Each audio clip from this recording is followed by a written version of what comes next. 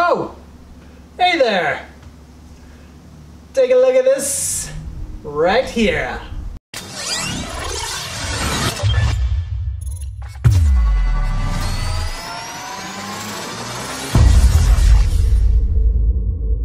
All right, so almost one year of waiting for this thing to be delivered.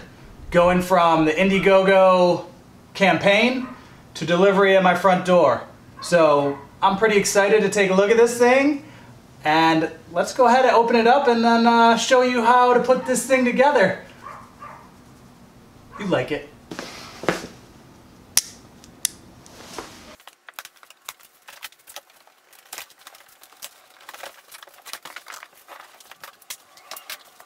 It's pretty well packed. So you can see it's uh, it's pretty well packed. We've got uh, couple extra tires in here. So these are the road tires they've been given to people. Um, I guess extra set of tires, which is kind of interesting because I did not order those. So uh, I'll take them for free. Sure, why not?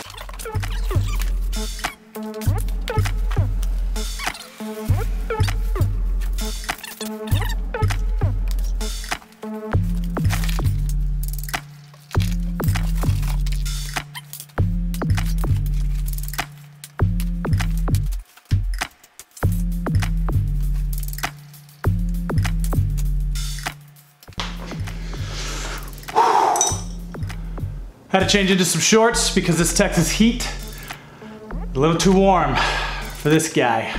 But uh, I'm sweating. It's only been a short period of time.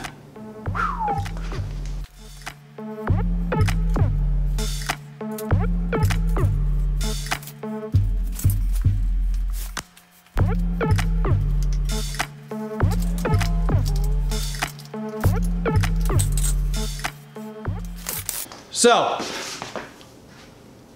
there it is pretty quickly uh, put together. Let me throw this other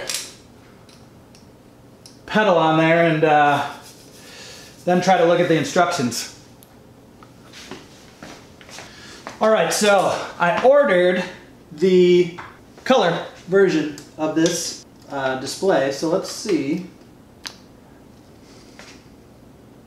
It's black and white and color. This is the only box that I got with the bike. So let's see what it comes with. All right, so there is the charger. And let's see if, uh, let's see when I plug this in to charge the battery if this uh, smokes like some of the other folks have been getting. Uh, I do have the um, non-Bafang, I can tell by the actual numbers on the back of the motor. Um, if anyone remembers or is uh, attuned to what's going on, this bike appears to have came out of Taiwan and the Taiwan bikes do not have the Bafang motor in the back. This looks like the other motor that comes from Taiwan. So we'll see uh, how well that does here over time or if it ends up being an issue.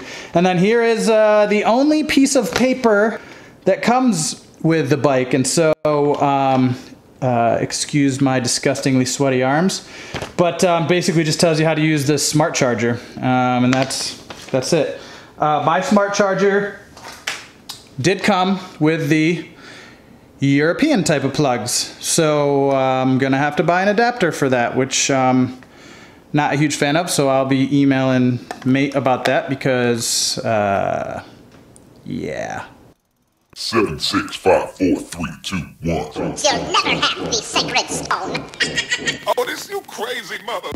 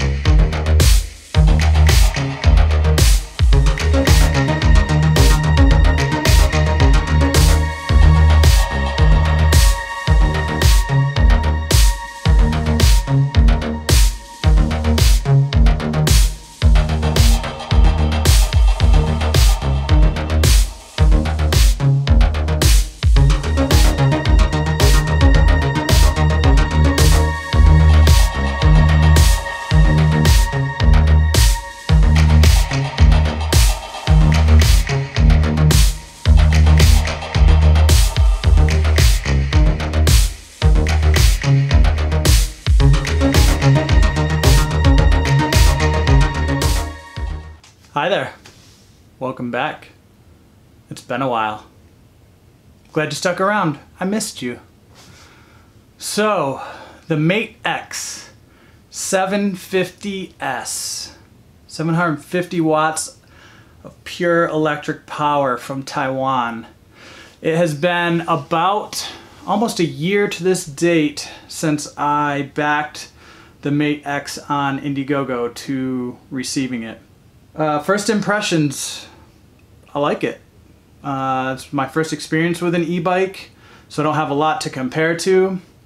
And there has been a lot of controversy around um, the parts uh, with the delivery and just some issues, but I'm not really going to get into those controversies. If you want to dive into some of those things, you can go ahead and check them out on some of the forums and the Facebook groups.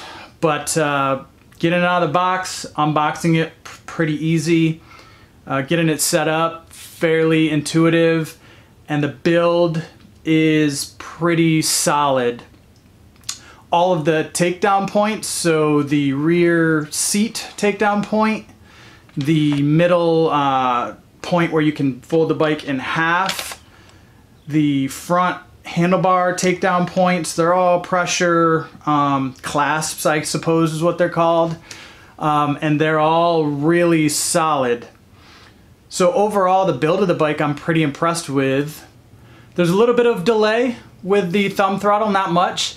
Again, e-bikes are, I'm really new to them. This is the first one I've actually ever ridden. Um, the pedal assist is kind of crazy, to be honest with you. Um, I had it on Eco 3 the entire time I've been riding it, even off-road. So um, if you've never ridden it before, you really don't need to use much effort. And again, I only had it on 3 and it goes up to 8, I believe, either 7 or 8. Um, and the eco mode helps conserve your battery. Um, the only upgrades that I've done to the bike was I upgraded to the larger battery, 17.5 amp hour um, when I purchased it. I upgraded to the rear rack that comes with the uh, rear light and then the front joker light, which I have not yet received. Same as a lot of people. And that's how that goes. Uh, and then I also upgraded to the color display and I bought the fenders. Um, so that's really all I bought as far as upgrades to the bike that were perks uh, through Indiegogo when uh, when it was offered. Um, adjusting the settings on the bike itself is fairly easy. It took me a few minutes to figure out how to do that. Uh, but essentially you just press the, if you have the color display, I'm not sure about the black and white display, you just press the power button twice uh, really quickly and then it brings up a menu and allows you to go through all of the settings on the bike itself. Additionally, if you tried, if you want to turn the lights on, you hold the plus button for about two seconds and that'll turn the actual rear light on. Now when the front light does come in, um, it'll include a horn and so there are buttons on the handlebars on the left side that have turn signals which which work pretty well for the rear light and then uh, and then uh, a horn button. So uh, we'll see how that goes once that arrives. Again overall I'm pretty happy with it. Uh, it feels really solid. Um, a couple things that I don't like about it. Um, the fenders straight trash. Don't buy them uh, not worth it at all. Um, they rattle all over the place. They're really loose on the bike. Kind of feel like a cheap aluminum. I don't even know what they're made out of, but they just not quality. Um, I would probably. I'm gonna look at picking up maybe uh, I think like Topeak or some other bike uh, fenders for it and see if there are any other options out there. But straight trash stick away from those. I wouldn't spend the. I think they're fifty dollars. They're either forty nine dollars or ninety nine dollars. Either way, they should be five dollars. Wouldn't buy those. The rear rack. Um, I like the utility of the rear rack. It wasn't a significant challenge for me to put on like some other folks have had, but um, it did take a little bit of leverage to kind of get it square uh, and then not stress the um, the screw holes, right? So that I didn't strip out the screws. So that took kind of a little bit of leverage. I used a, a clamp to do that and get some leverage on it. Um, but it went on fairly easy. The rear light, the cable is a little long for the rear light, um, so I kind of wrapped that uh, around the uh, bike rack or the rear rack and then mounted the light where it is. And it angles up a little bit, but I'm okay with that. I know some folks have mounted it under the seat uh, or kind of along the back uh, fender if they didn't have the rear rack on. I'm okay with it where it's at.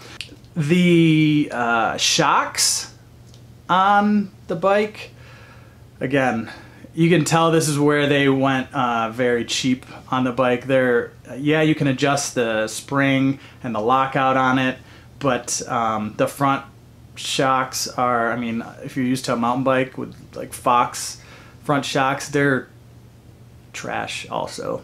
Uh, same with the rear. Um, they're not, the rear isn't adjustable. Um, and if you if you're planning on doing anything on trails, um, like you see in the videos coming up to this, where they were just very light trails, that thing is bouncing all over the place. Um, that is a place where you could tell that they went they went fairly inexpensive and cheap on the bike, and um, I may replace those. I'm not sure. If you're going to use the bike to just commute around um, to, let's say, go to the store and pick up some beers, which is probably what I'm going to do. Um, I think it's good for that. Um, having the throttle uh, when you feel lazy and don't feel like pedaling, uh, or the pedal assist even, it makes it nice. The bike is heavy; it's around 60 pounds, and I, you know, it wasn't intended to be light with the battery and all the components of it. But pedaling it without the uh, throttle or the pedal assists, again, is pretty terrible experience. But you have a motor, so use it. So overall, I like the bike.